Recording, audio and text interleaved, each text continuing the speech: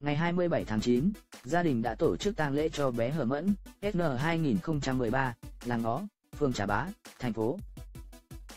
Ở Lê-cu, Gia Lai, bé tử vong vì chết cháy.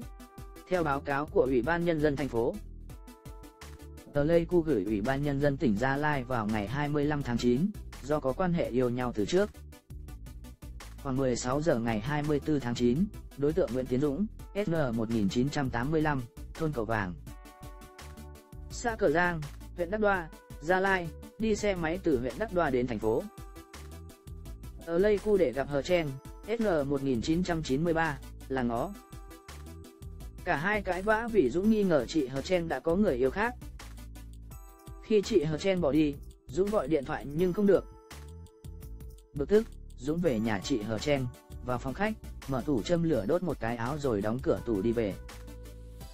Lúc này, trong nhà có bà Hờ Linh, mẹ của Hờ Chen, SN 1956, đang nằm ngủ cùng với cháu mở mẫn ở dưới bếp. Trên đường về Dũng nhắn tin cho chị Hờ Chen với nội dung, chạy về nhà mà dập đồ đi, anh đốt hết rồi. Chị Hờ Chen chạy về đến nơi thì thấy nhà cháy, người dân cùng lực lượng cứu hỏa đang chữa cháy. Hậu quả, cháu Hờ Mẫn tử vong vì cháy toàn thân, hai xe máy để trong nhà bị cháy hoàn toàn.